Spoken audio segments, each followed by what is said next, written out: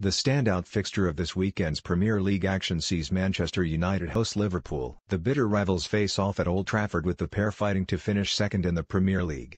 With a wealth of talent on both teams, Sportsmail pits together the best from each in a combined 11. 4-3-3, David De Gea best goalkeeper in the world and a very easy decision given Liverpool's checkered past, even though Loris Karius has looked steadier recently. Antonio Valencia Trent Alexander-Arnold and Joe Gomez have both played well this season but Valencia gets the nod. Virgil van Dijk best pound-for-pound central defender in either squad and so calm in and out of possession. A huge capture for Jurgen Klopp.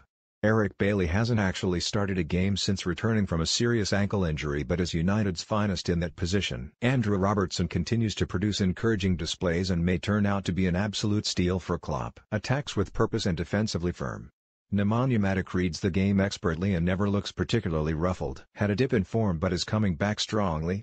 Emre Can edges Paul Pogba out on current form. Pogba will drag himself out of this slump but Can has looked tidy. Adam Lallana the most incisive runner from midfield in either squad and, when fit, walks into either 11. A big few months coming up for Lallana.